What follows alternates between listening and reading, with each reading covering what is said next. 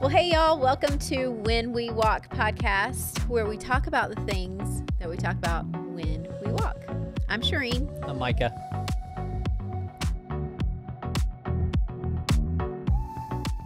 So, we've been taking walks in the fall, Yep. and it's Halloween. Coming up. And a lot of people like to decorate They for do. Halloween. Yep. We've got some passionate Halloweeners Very much. in our neighborhood. Yes. Like, to the point where there is haunted houses in their front yard. Yes. And Like, graves, All kinds of grave things. sites. Yep. Mm-hmm. Very scary things. It is. to the point where I remember early on when we moved in our neighborhood, we would have to drive like either take different routes because our kids did not want to see the things, and I did not want to see Yeah. the things or let them see them. But people love to I know it's kind of Halloween. a new like, and maybe this has always been a thing, and we're just real picking up on it later. Um, but since I would say in the last like ten years, the number of people I've heard say their favorite holiday Yes. is Halloween I've heard this. has been. It feels like it's on the rise, but maybe I'm just meeting more of those people. No, I think it's on the rise. yeah. Like more inflatables yeah. in like the Mhm. dragons. Yeah. I even was ta okay. So I took a walk by myself not long ago, and I had to take our dog. sad. and he wanted to pounce this dragon that that would like inflate and his like fire would come out of his mouth and then it would retract and his wings would go out and our dog wanted to like jump this dragon it was very funny i let him kind of strange like to me because he's usually so timid. i know no he was dragon ready he was ready to fight the dragon, Dragon Slayer Kirby. That's there we good. go yeah so i don't know how i feel about it Yeah. i mean we are not against halloween no. Mm-mm. we love Halloween. Actually, I yeah, actually I'm a like fan. dressing up with my kids. I always have. I'm always willing. You're willing. Yes. You don't enjoy it. Not, I'm not as passionate about it, but Laylee has, over the years, Yes, our creative genius always has a great idea for Halloween. she does. She starts planning it usually like in the summer. Usually, she used to draw pictures. Do you remember Yes, that? Where she would draw a picture of each person and what their costume would look like, Yep. and then we would have to make it come to reality. It Mm-hmm. was never, never quite to her standard, but Yeah. we tried. You can. There's only so much you can do at the Goodwill. Yeah. Yeah. Yeah. So we do like Halloween. We are do. not decorators of our homes. We're not decorators of the home. We're not um, into the bloody. No. I did have a have. ma- when I was in third grade. I remember my mom finally sprung to get me like a good mask, like Oh, a really good get? mask. I got um, it was a old man with his face ripped in half. Oh. I can't believe that she. And, Oh. I can't believe she so let you what get would that. happen is, is like totally my mom is instead of every year after that through the rest of elementary instead of me getting a new costume i would wear a new outfit with the same With mask the mask. yeah so like one year it was like an army outfit one year it was like flannel shirt one year it was something else But same but scary always face. the same mask yeah it's probably stuffed in a closet somewhere in our house Oh my, we're gonna have to find that next time mm-hmm. we're there. yeah yeah but we don't do the gory No, thing we are don't- yeah No, we're usually like some Disney family or some I don't know movie, whatever. But we're not against Halloween. no Mm-mm. Just not the scary parts of Halloween. right. But there is, I mean, I did not grow up in the church, but there is like still a stigma to some Christians, I guess, that is like they really no, struggle. don't do yeah. Halloween. Yep. It is an evil day. It is the devil's day. Demons, all the things, right? mm-hmm.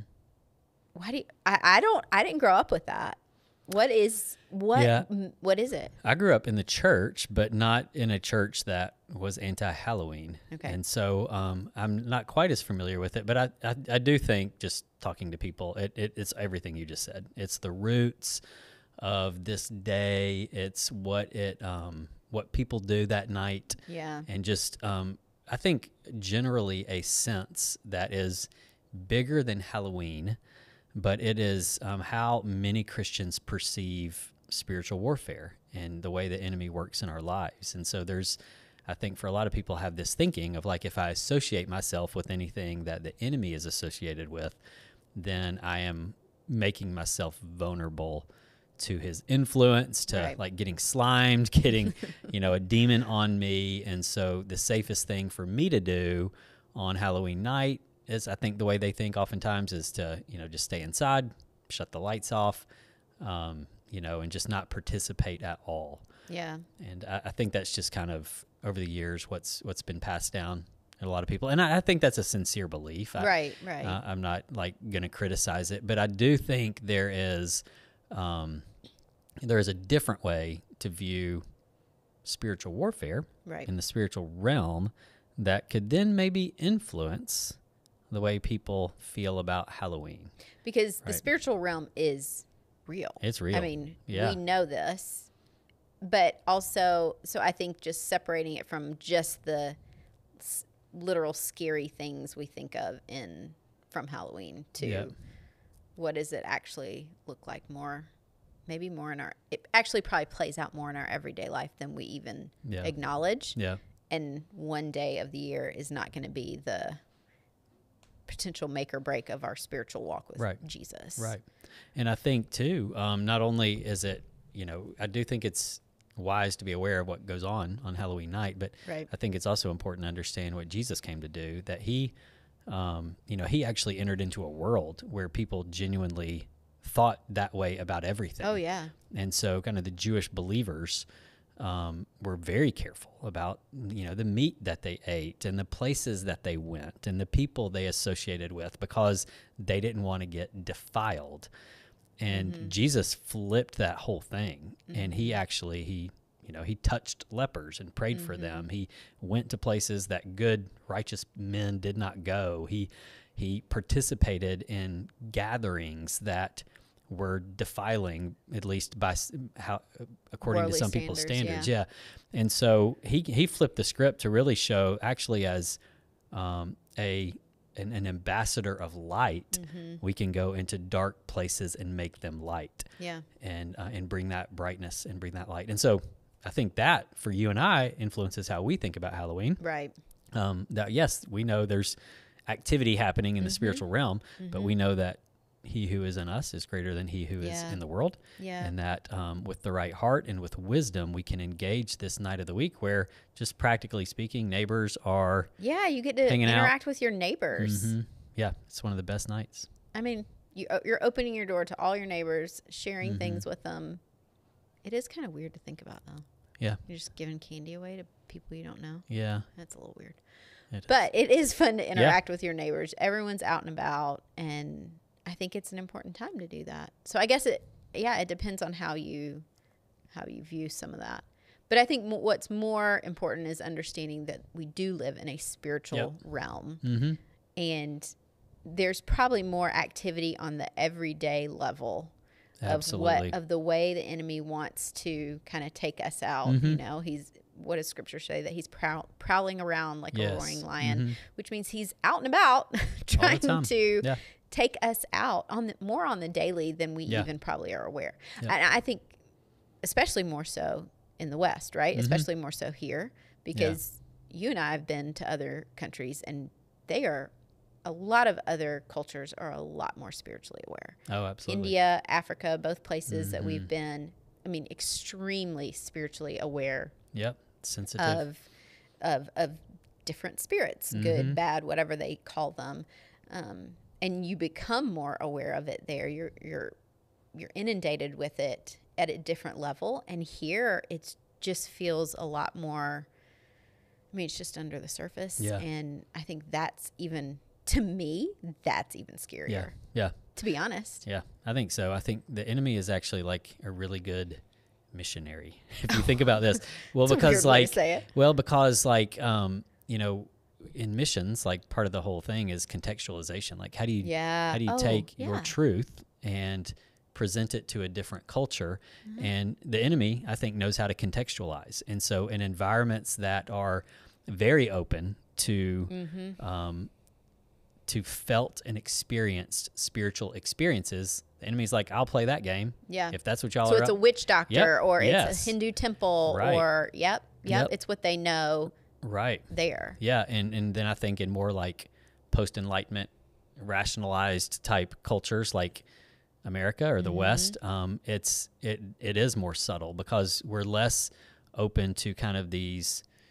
experienced spiritual encounters, and it's and so um, we're more prone to giving ourselves to media Yeah. and to um, I guess to avenues through which the enemy can move just as strongly, but he's just more covert in just a way in over the here. Yeah. culture, just Yeah, the way that he counterfeits here is different than how he counterfeits in India. That's a good way to say it. Yeah.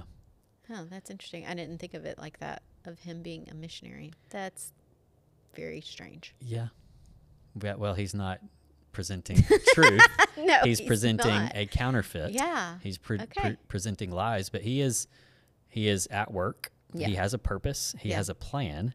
He has a goal. I mean, a lot of the things that a, a Christian missionary would have Yeah. um, that he wants to to bring influence in order to, you know, affect an individual or affect a culture. He's he's out and about. I think that's good. I think it's also good though to remember because I know, for me, I know when I've dealt with spiritual warfare stuff like back in college, and you know I've dealt with a lot of that kind of stuff in the past, and so I think one thing to for people who might be watching or listening to remember that if you are found in Christ, if He is the Lord of your life, that the enemy cannot possess you Right.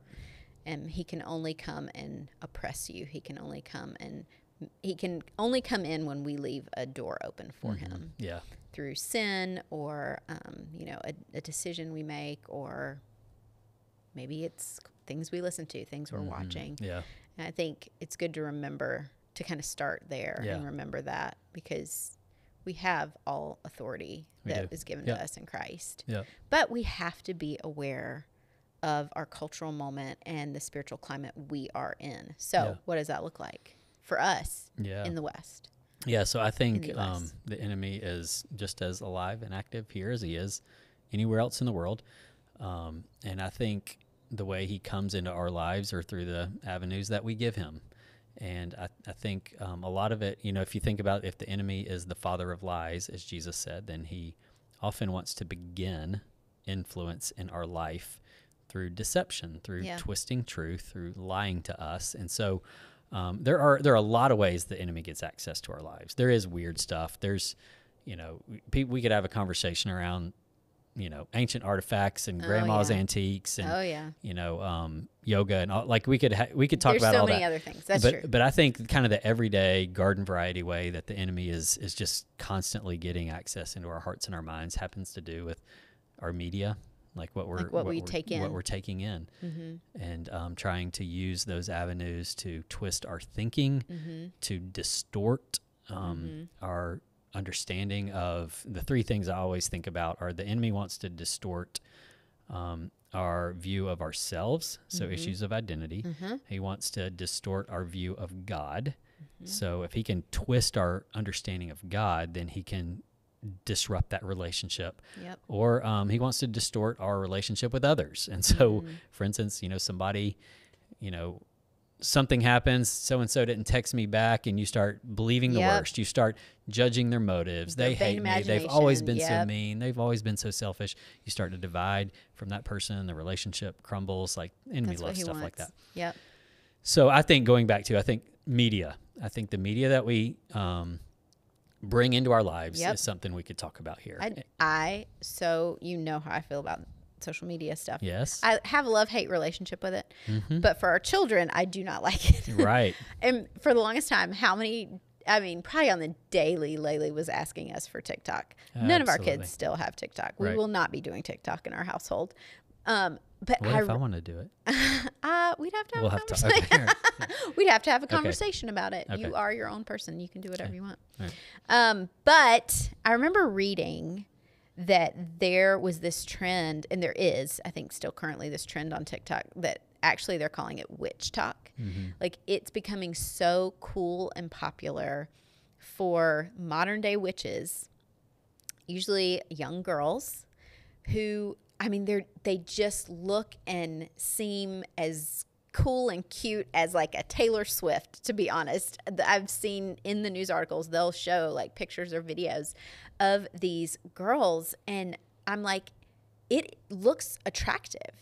But what they're doing is they're presenting this alternative answer to maybe your anxiety or a chant you can say before you go to sleep because Oh, you can't sleep. Um, certain things you can do to um, be more attractive to a guy. Like Hmm. all, ki- I mean, I, I remember reading it was all these different things. Um, whether it was legit or not, it doesn't matter. These girls are opening up doors, you know, and what TikTok does is it feeds that. Mm-hmm. You know, if if if you just stop on it for like even a split second, they realize that's enough to I'm going to feed more and more and there there's going to be an interest there and I'm going to the algorithm just feeds that to our kids and it's becoming like pretty prevalent like this Yeah. whole WitchTok thing Yeah. and it's very like culturally acceptable Hmm. for a lot of and and I think the hard part is is it looks like normal. It, it's not like witches the It way doesn't we look dark and scary. Yeah, yeah. and so that is Mm-hmm. what to me is even more like of course the enemy would do this. Yeah. Of course he would twist this and make it look so inviting. Um Hmm. you know, and that's like the extreme Yeah. of social media. But there are other things I think we take in, you know, what is on your feed as you scroll that is just get you're letting in your heart and your mind and that could could potentially be damaging. Yeah, I mean, if if you think like if God is the source of life, and the enemy wants to bring destruction or death, I think a good thing to evaluate, really with all media, but we can start with social media, is like how do I, how do how does my thought life and Yeah. how are my feelings after I spend a little time Oh, on Instagram or whatever? Like, do I feel more alive or more dead? I mean, Yeah. that's one way to to think about it. Like, am I in a better place or am I in a worse place? Mm-hmm. And sometimes, if you're in a worse place, you could ask yourself, well, what am I exposing myself to? Mm-hmm. Um, you could ask, well, how long did I spend on that? Um, what kind of content? Um, Who am whether I it's the following? people. What are they yeah, mhm. talking about? Yeah. Yeah. Yeah. And so um, I just think, you know, it's the Peter thing of like be alert and sober minded, First Peter 5 8. It's Yeah. like that we would, you'd utilize, you know, social media with, and there'd be a sense of like, but I want to be smart about this. I want Right. to be wise about this. I want to be alert and sober minded, knowing that if, if the enemy is the father of lies and we're, if, if I were the enemy, I would figure out how to leverage social media in people's lives, right? It's a great avenue into people's hearts and minds. I mean, it's in our pockets all the time. It's in front of us, especially for kids. That's Mhm. the heart. The that's why I think I'm so like watching it with our kids before you know we only have one who is on social media and she didn't get it till 16 and very carefully talking them through how to navigate what's in front of them and how much how much time you spend you know now mm-hmm. at least on most of our phones we can look and see how much time we've spent Yeah. on things and i think that's important to pay attention to because it's not just what you're letting in but how much of it too mm-hmm. right like Yep. the more we let in that is actually discipling us more than sitting with the lord or maybe even other people who have same beliefs as us That's so, true. Yep. So social media, I think we got to be wise there. I think music, we have Oh, to be yeah, wise with music.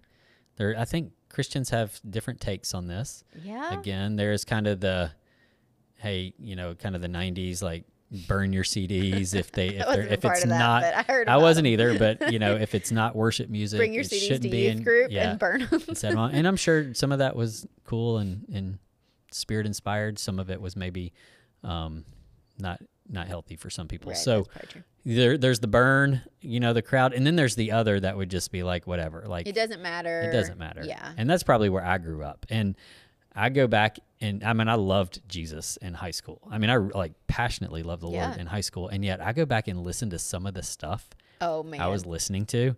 Um, a lot of the rap jams when we would do that with our kids. Oh my and goodness! start playing music. We're Yes. like, no, wait. Actually, no, that's can't a good song. I didn't realize there was so much profanity, or he said that, and that means that. yeah. but no. we, I mean, you're just like I was just listening to the beat and right. We know, just like rapping music. along with it. Or it was popular, Mhm. right? You didn't want to be the person who didn't know the song or the band or whatever. Yeah.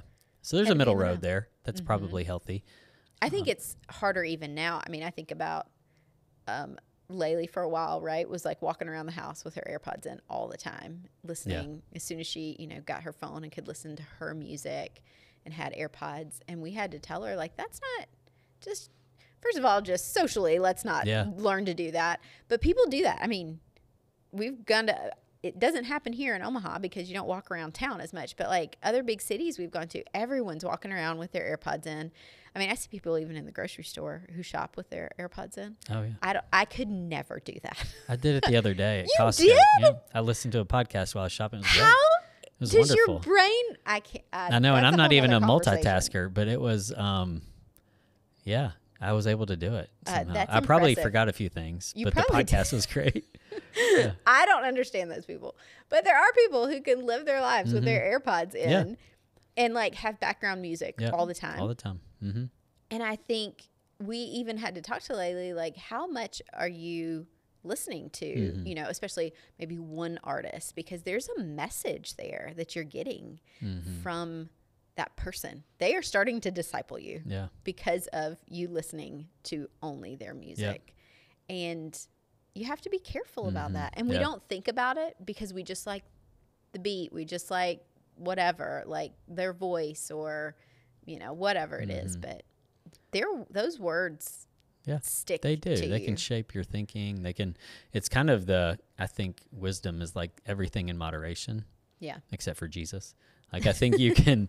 I mean, really, like that applies to so many things in life. Right. Um, that if you just recognize this is, I can enjoy this, um, for what it is, but in moderation. Do you think you and I have talked about this?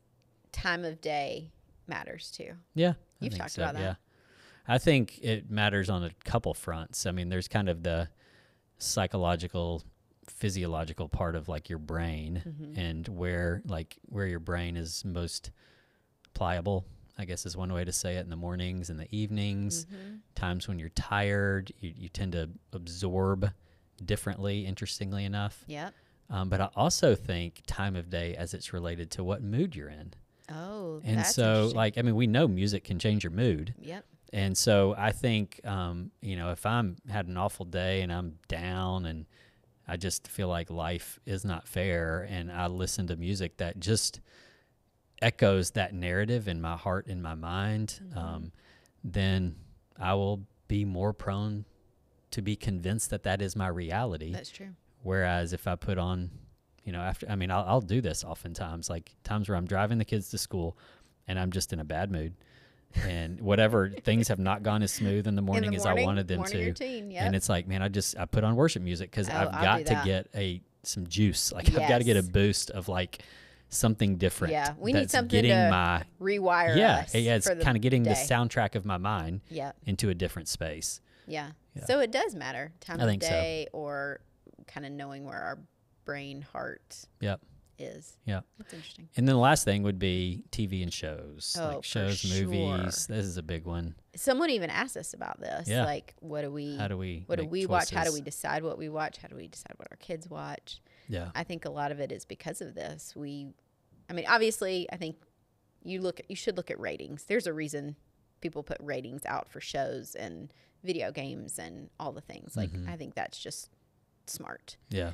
But then I think just being okay to say, start watching something and realize it's not sitting well with me. Like, this is, you and I have Mm-hmm. Yeah. done this before. Like, we'll start watching a show, might be even a popular one, and it just doesn't, it doesn't sit well with us. And we both realize we can't keep watching this. Mm-hmm. Yep. This isn't good for our hearts Yeah. or our minds or like for me right before going to bed i can't watch like violent shows or whatever and i've learned that about myself and i have to be okay saying i can't watch that i know everyone else and their brother is watching it but if for me i can't watch that Yeah. Yeah. I think you have to use personal discretion. I think, um, I mean, there's certain things that are just pure, like, this is yes just not good for any human or that is not to, good for to take heart. this in. Mhm. Um, and then I think there is a lot of other stuff that is personal discretion. I think one of the things, I mean, be prayerful about what you, I mean, that might sound weird, but be prayerful about what you watch and what you listen to. Be sensitive to your mental and emotional state while you're watching it. And similar to what we said about social media, how do you feel after? Um, and then three, like, um, talk to your friends about like what you're watching. Yeah. Um, especially people who just spend a lot of time in front of the television alone. Um, Yeah, I think it's just really important just to say, "Hey, I, you know, I'm watching this show. What do y'all think?" Or, "Hey, I watched this show for eight hours, you know, this weekend. What do y'all think?" Just it's just the the simplicity of community to have some people in your life who can kind of know what it is that you're exposing yourself to. Um, if you find you're watching something that you're probably afraid to talk to your friends about, who are Yeah. maybe that's an indicator of like, is this is this wise? Yeah. I think that's good. And I do think too, let me just say this. I, I think a lot of times when we talk about the way the enemy gets access to our lives, we think it's about association. So like if I watch this, it's like the enemy's going to jump out of the screen and into my life. Yeah. Um, and that's not That's what not we're talking. We're no. talking about him using the the airwaves in a sense. Um, Well, the images yes, the that stick with images, us, the words. the words, yep. Mm-hmm. and being and, and messing with our way of thinking, um, our attitude, our mood, the narrative that Yep. we carry inside of ourselves.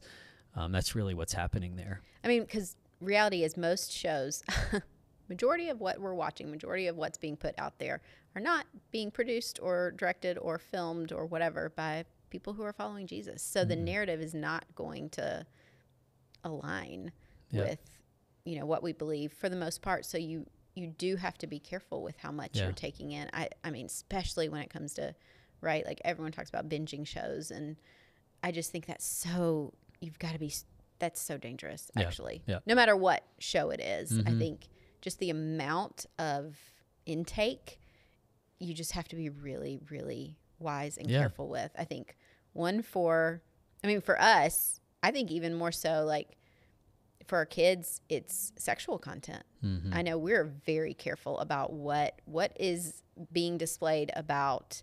Um, you know, is there a love story or a love interest? What is being shown about that? How are they talking Yep. about it? Because sexual jokes, whatever, even more so than language Mm-hmm. Yeah. for us. That to me is a little bit more dangerous for our kids and their development. But then I also think for us, we use it as a open door of conversation. I actually think it's Mm-hmm. Yeah. great. I actually learned that from the Raising Boys and Girls um, podcast and um, counselors there. They said Mm. sometimes watching certain shows or movies with your kids actually helps open a door of conversation Mm-hmm. to start talking about relationships. And our friend Tammy, Tammy used to do this with her kids all Mm-hmm. the time. Um, who would she would sit and watch a movie with them and would pause it, remember? Yeah. And we started Yeah. doing that. Like, what do y'all think of that? Yeah, like okay, let's talk about this for a second because that is not probably how we would handle things. Right. What do we think about Yeah. this? So it doesn't mean like never, but maybe be careful of what it is and know. I mean, like for me, I can't watch violent things Mm-hmm. and right before bed, especially Yep. because I know it'll mess with my thoughts and Yeah. mind as I go to sleep. And I've just had to be careful about that. Yeah. And I think you have to learn what you can handle. Yeah, and you you going back to the kid thing, you you're teaching them, you're equipping them with wisdom Right. because they're not always going to be under your your watch, Yep. and so ultimately you go from that phase of life with your kids where you're kind of guarding them from things that we know they're not ready to see or Right. process, Yep. to then guiding, and and that guiding approach is is equipping them with wisdom so that when they leave the house, um, they you know they're choosing their own Yeah. inputs that they're doing that with wisdom. And hopefully they remember, like, hey, we're processing. We don't just pick a show because everyone's Yeah. watching it. We're processing through it. I mean, there have been many times where you and I know we I have a ton of friends watching a show and we'll say that's just not for us. Or same thing, our kids will say, all my friends are watching. Mm-hmm. Right, yeah. and we're like, Right, sorry, yeah. but that isn't. We don't feel like that is appropriate for you at this Mm-hmm. Yeah. time. Doesn't mean never, but at this time. It is not what we feel like is the best thing Yeah. for you to take in. Yeah. And I do think it should be said for the person who's listening to this who's then like, well, why do we do any of it? Like, That's why don't you just Right. shut off social media, you know, Don't have TV, uh, only listen to, yeah, worship go back and burn have- your yeah. CDs. And I think that's where we can get this a little wrong. Like, um, if you want to do that, I think that's okay. But I do think you're missing out on this whole sector of this world God created yes. where like art is beautiful. I mean, God created music. Music, Right. when you get into like music theory and stuff, it is Right. it's spiritual. It's just like supernatural the way God designed music to work. Um, arts and entertainment. You know, a, a great movie can inspire you. It, Yep. the creativity can open your heart and your mind to things you haven't Yeah. considered before in a really good way. Yeah. Um, social media can be used to connect with people and to learn. really I mean, it, we have like university level information at our fingertips now. And so there are a lot of good things. And kind of like what we talked about with the Halloween thing earlier, like we could take the approach of like, I just avoid at all costs. Mm-hmm. Or we could say, as a spirit filled follower of Jesus who carries the light of God inside of me, um, the wisdom of God, the wisdom of the Holy Spirit inside of me, I can engage these things to a degree that they produce good fruit Yeah, that's good. and and they're created by God and they they produce some good fruit in my life. And then I know where the boundary is to where they no longer do. yep. And I can't even remember. It was way back in the 1700s. Um, so I don't know what all the the things that he was engaging in and watching in, but it was John Wesley who said, um, s- uh, "Do something." And this is a terrible paraphrase, but it, the heart of it is this: do something only until it ceases produce to, to produce fruit, Oh, okay. and then go and do something else. okay. And so it wasn't like a hey, wise. don't don't do this at all. It was like, but once you notice it's not producing good fruit, Right. maybe that's your boundary. That's and good. so what we're saying about how does it make you feel? How does it make change your mental state? Mm-hmm. Um, with all of these things, and Um, always be willing to present it before the Lord. And Yeah. if He says, not anymore, not for you. Not for Sometimes it's not for you. Yeah. not anymore, Yeah. You know, take a break. Mhm. Uh, That's where we've got to be willing. We didn't even talk about books. That's a whole nother thing, Yeah. too. Yeah. We'll have to get to that. There's into so that. much. yeah. That's good. That's Uh, good. Yeah. Well, hopefully, Hopefully. that's helpful for people. Maybe we can do books down the road, and uh, you can you read so many books. You could give I us do. some I good like insights. Read fun books. Yeah. So, what are your fun books you're reading right now? Is that our question? It, it can be. Yeah. is, is it because Sure. you are not reading anything fun? no. right So that's why I'm asking you. Oh man, so many fun books. Um, I the last one I just read. It's actually a memoir.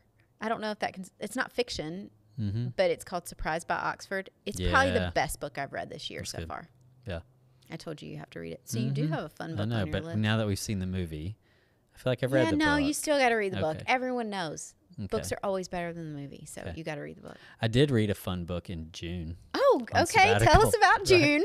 That was uh, the Lions of Lucerne, and so Oh. it's like Oh, this, this yeah, one. book Yeah. about like a Secret Service agent, and I think there are fourteen. Um, In the four- series? yeah, there's That 14 is a long So I have 14 years worth of fun reading in front of me. Every June, one book about this You Secret Service. I can't remember to his name open anymore. up your know, library to some fun. I don't. I'll get there. You'll get there. Okay. Awesome. That's all we have. Yep. Thanks so much for joining us. Hopefully, this was helpful for you, and we will be with you next time on When We Walk.